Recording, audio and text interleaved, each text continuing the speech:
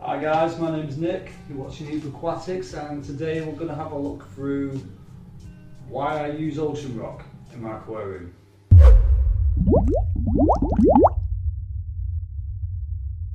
There are many different types of ocean rock. Um, I tend to use just two.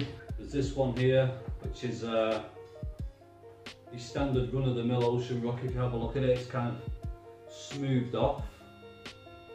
It's often referred to as Texas Holey Rock due to the obvious reason that if you look at all these little holes all over the place, I think that's where the uh, where the name comes from. Um, you can build some interesting structures with it, it comes in some interesting shapes and yeah it's pretty cool. Um, I don't use a whole lot of this type of rock, um, I use it in some of the smaller tanks, I'm going to get to the other rock in a second. Uh, it can look nice especially when it's aged and it's covered in algae and you've got a nice sort of natural looking structure, it can look really really good. I think the fish will display more interesting behaviour with this kind of rock in here with all these nooks and crannies and little caves and things. It makes, just makes the tank more interesting. It makes it more interesting to watch the fish picking around them and navigating the way around. They get to know these rocks like the back of their hands when they've been in the tank for a while. It's, uh, it's really, really good, really pleasing to the eye.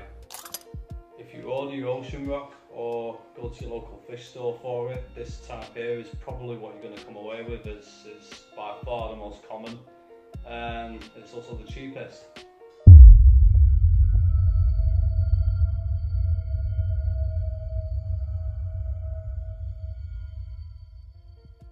This is my number one choice of ocean rock. This is um, dried reef rock or dead live rock. This is what I keep in my main tank and what that basically is, is it's been in a marine environment, it's had all the coral growing on it. What I get with this type of rock over a boulder is all these little intricate networks of caves, crevices, nooks and crannies and what these provide is extra hiding places for your fry that have been born into the tank so they have a much much higher survival rate. You'll have a lot of fry in your tank with this kind of rock. It's more porous than the standard base rock, which is only a good thing within a fish tank because all your beneficial bacteria is going to colonize strongly within them and help you filter a little bit and that can never be a bad thing.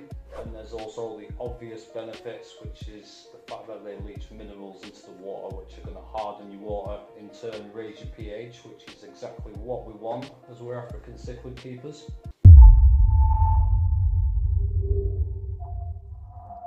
Like about it is when you look really really closely you can see all those bits of mollusks all these different hues of colours and pinks and purples in there and honestly it looks so much better than the other type. Um, it is a little bit more expensive but it's definitely worth it especially when it's aged a while. So to round things up I think the coral rock is superior to the Texas Holey Rock in my opinion. It's lighter in weight it's more porous to hold more beneficial bacteria and it's more visually appealing. And I highly recommend it. That just about concludes business for me today. Um, hopefully you enjoyed the video and learned something new. And until next time, peace.